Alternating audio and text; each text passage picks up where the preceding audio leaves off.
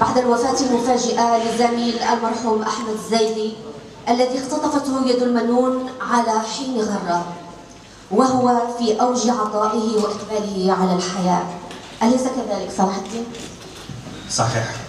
فإن هذا اللقاء الذي تحضر فيه روحه التي ستبقى خالدة بيننا فهو أستاذنا في الأخلاق والتربية.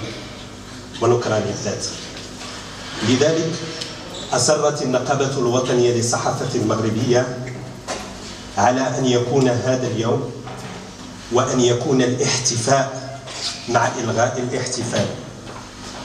أن نحتفي بأولئك الذين ما زالوا بيننا.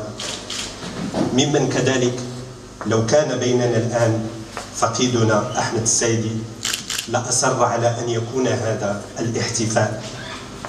بكل الذين قدموا الكثير لمهنة الإعلام وللإعلاميين.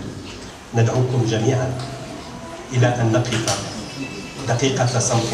الرحمن الرحيم مالك يوم الدين إياك نعبد وإياك نستعين اهدنا الصراط المستقيم صراط الذين أنعمت عليهم غير المغضوب عليهم ولا الضالين سبحان ربك رب العزة عما يصفون وسلام على المرسلين.